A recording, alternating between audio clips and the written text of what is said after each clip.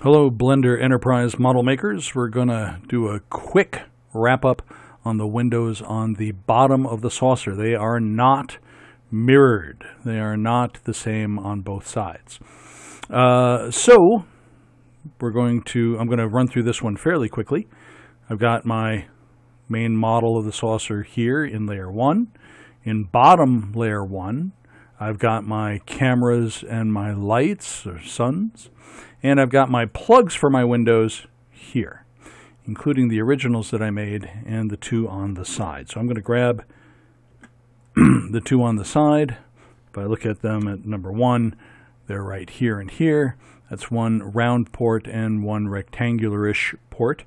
I'm going to Shift D, copy them, and I'm going to M, pardon me, move them to uh, layer 2, what the heck, and we're going to go back and we're going to select layer 1 and shift click, left click layer 2. I've got them in there and I've got my, my two, two windows, two ports. Okay, so I need to move these over here so that they are in line. Pardon me. With at least a, a window and a port on one level. So I'm going to just randomly pick this level. That's fine. We're going to uh, go out here.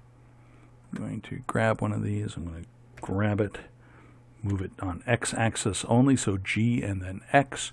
Move it out here so that the center is on the outer line. Remember, we gave the hull a thickness, so it now has two lines. And I'm going to grab this G and X. I'm going to move it out here. And again, same thing. Ah, but they are not at the same height. So I want this one centered in that more rectangular-ish, pardon me, pardon, can't wait to get over this cold. All right, so grab, it's now centered, and this can be grab and centered. Okay, so that's not too bad. It's no doubt not mathematically perfect, but not too shabby at all. Okay, so we're going to go Control 7 and I'm going to make sure that the rotate is on bounding box. I'm going to rotate this 90 degrees. I'm going to rotate this 90 degrees. All right, so we're going to go to 1. And we're going to do what we did before. I'm going to rotate this so that it's pretty much perpendicular to the hull. Rotate this the same way. Okay, and they both pretty much line up correctly. Uh, I want to use the 3D cursor now for all my rotations. Make sure that the cursor is in the center. Of course, that's Shift S cursor to center until we move everything. I'm going to go to Control 7. and I've got some stuff already lined up. So I'm, I've got the rectangular-ish one uh, highlighted. I'm going to Shift D, rotate, and I'm going to rotate it here so it's at the first of these windows. I'm going to zoom in a little bit, make sure that's nicely centered. That's pretty good. Shift D, rotate. Remember, I'm not going to make them uh, any larger. I want them the same size as the ones on the neck and on the engineering hull. Shift D, rotate. And Shift D, rotate. now, there are three, four, sorry, circular ports on this level. So I want to select this, Shift D. This time I am actually going to rotate it by what, three degrees? No. Rotate by four. That's almost perfect. Rotate four whoops, 0.1. Is that good? That's pretty good. All right, so I'm going to highlight that same one again. Shift D, rotate negative 4.1. Enter. All right, so those three are spaced correctly, and we've got to move one here. So I'm going to pick that center one again. Shift D, rotate. Get in a little closer and make sure that lines up well. Actually, that's pretty good, but rotate just tiny bit. There we go. all right, so all of the windows up till here are all set. So we're going to grab one of these, Shift D, rotate. Let's get in a little closer. We got a bunch of these rectangular-ish windows to line up. Shift D, rotate. Now, some of these things are not windows, like this square here is actually not a window. Neither is this. Those are actually signs. So Shift D, right mouse click, rotate, center that up, Shift D, rotate, Shift D, rotate. All right, so you've got the general idea. I will come back when all my windows are placed. Okay, I have all of my windows and lights placed, including these three out here by the edge, saucer edge. Now it's the lower saucer edge. so I'm going to show you where these line up by going to 1. Notice, pardon me, that they intersect with the hull here. And all right, so I'm going to join like things. So these uh, six lights around the edge are shift and right clicked. I'm going to control J. Now I'm going to add a couple of mod well first I'm going to add I'm going to smooth shade them. I'm going to go to the modifiers and add edge split and apply. Okay so that's done for those. And we're going to do the same for all of these windows. Now just to point out again this and this is not a window. That's signage. This is a large yellow sign. This and this are gray signs and so is this and this is, the, the rest of these are all windows. Oh, I am missing one round port. Be right back. All right, so I want to select, say, I don't know, all my round ports. So we'll click on one of them. You don't want any of them to be too near these three cutouts that we made. So I'm going to select one, shift, right mouse click, right mouse click, right mouse click, right mouse click, right mouse click, right mouse click, right mouse click, right mouse click, and then these three. One, two, three. Now if you do something by mistake like hitting the hull, you can hit it again and deselect it. So now I've got all of these round ports selected. I'm going to control J. They are now a single object. I'm going to do the same for all the square ports or windows if you want. Uh, click on one, right mouse click on one of them, and then uh, control. Uh, whoops, sorry. Right mouse click and then shift click, shift click everything. Whoops, except for the hull, of course.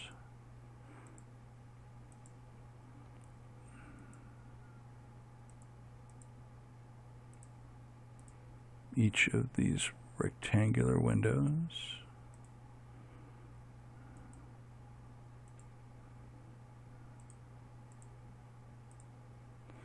And I think that's all of them. So Control J.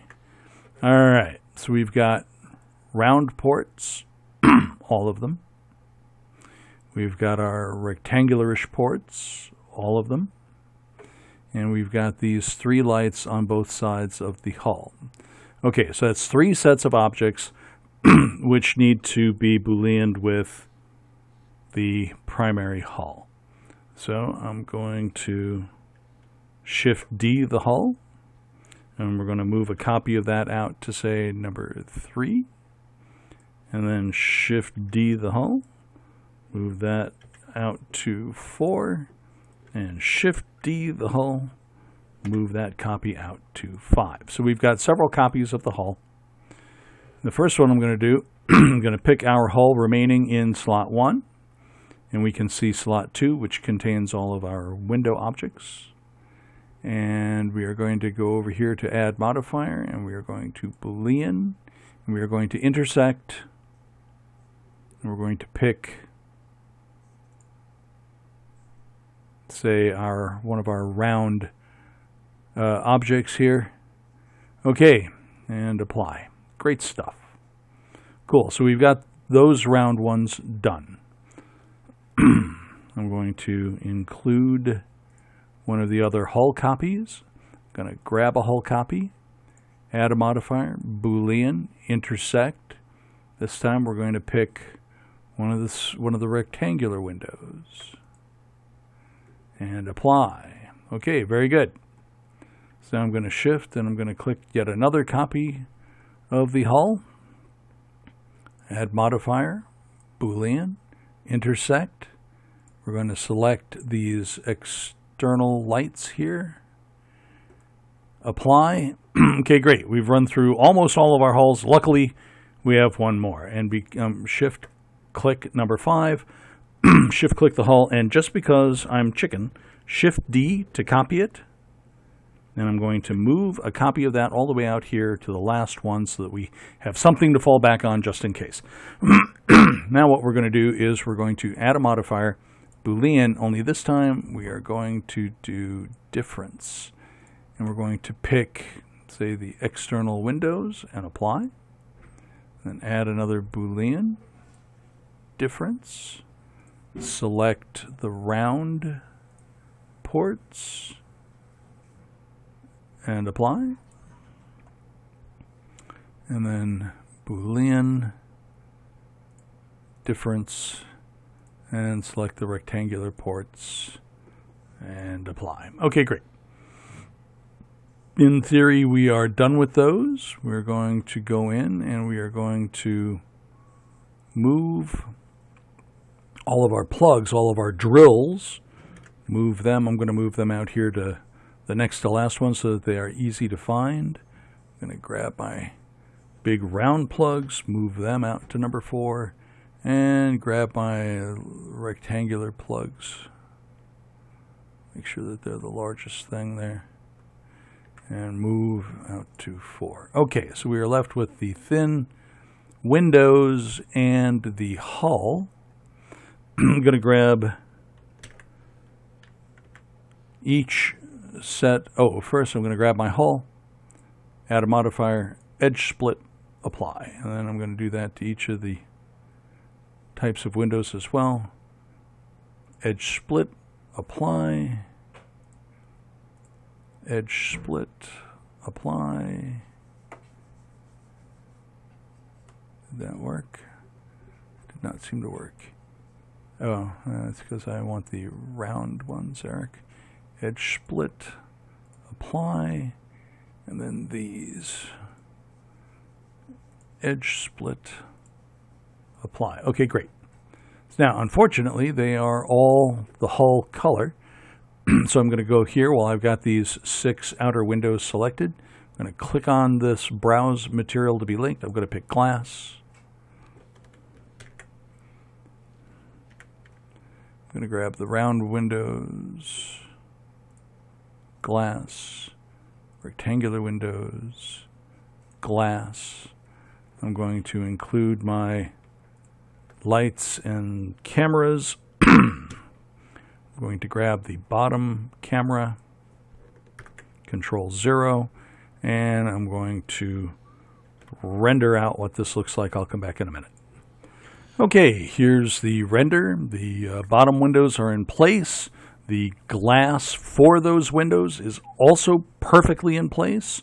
Um, and all of our booleans are done. We could go through and we could do some cleanup. This model that I am walking you through is not what would be considered an optimized model, where you reduce the number of, uh, of uh, quads and triangles to a minimum level because the camera will never see all of this. But what I'm what I'm primarily trying to do is to get you to understand how to make the basic shapes, how to use uh, splines, and how to use booleans, how to manipulate primitives uh, like the squares and the uh, cubes and the cylinders in order to make more complex objects like this saucer hull. Matter of fact, I'm going to hit F11. I haven't saved uh, any of these renders. I don't. I'm not uh, going to use them. However, if you are building a model and you are going to a forum and showing them your work, you're going to want to, pardon me, you're going to want to render out each of these steps uh, when you've completed a major step, and then put your name and at least the year somewhere on your image. Uh, there forums, or we can discuss that later, how to do that. But uh, for right now, all I'm going to do is I'm going to get rid of, you know, shift click the uh, lights and camera, and I'm going to go to 1 and Z and just take a quick tour. As a matter of fact, if I hit 5, I am out of orthographic and I get perspective. And oh, I, I still have to mirror the glass for the top two, uh, which I have not yet done. Uh, but, you know, all in all, not bad looking for for a saucer uh, with a bunch of glass windows. All right, not too shabby. Matter of fact, if we want to make everything stand out a little more, we can highlight our saucer. Uh, we can give it just a base uh, material, so we're going to call this hull. Uh, matter of fact, I'll rename it hull gray. And we're going to come over here to color. We're going to leave it at the diffuse, and we're going to just pick something a little grayer, maybe a little blue-green. Okay, great. So we've got a texture there. Let's click on Settings, click on this Viewport color, click on this selector, click on this color window, and this will now look like this while we're walking around it. And uh, let's see here. This Okay, and what we want to do is we want to go back to orthographic 3 Z. And what I want to do is I want to go to modifiers, mirror, and I want the copies over here. So not X, but probably Z. Ah, let's go to the top. Looks like it fits perfectly. We're going to apply. And for our glass texture, which is white in the viewport when we do this, which is perfectly fine. It now stands out from uh, the rest of the hull. But what the heck, for viewport color, I'm going to make all the glass black so that they really stand out. Now they won't render like that. As a matter of fact, let's go to whatever our last camera angle was, render that real fast. Be right back.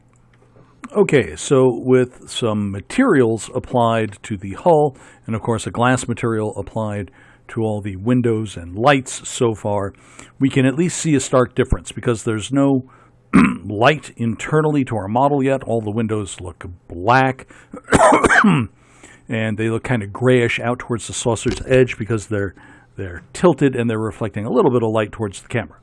Um, but you can already see some of the details, and because we've applied a uh, kind of a lackluster, very simplistic material uh, to the hull, uh, you can at least see the three ringed cutouts. Uh, we're going to be doing much more with this, and with proper lighting, things will pop out more. Uh, I'm going to show you one more item on the uh, bottom of the primary hull that needs to be modeled. They are the, the two triangular uh, items uh, because those are actually 3D items. The rest will all be handled with textures. All right, so see you, see you in the next video.